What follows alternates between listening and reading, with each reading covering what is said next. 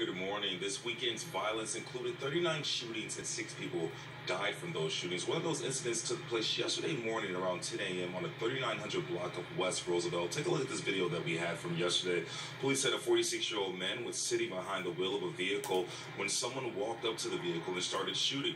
The victim left the scene, driving eastbound, eventually hitting a parked car, which hit a pedestrian on the 2300 block of West Roosevelt. Police said the pedestrian suffered minor injuries, but the shooting victim was taken to Mount Sinai Hospital where he died.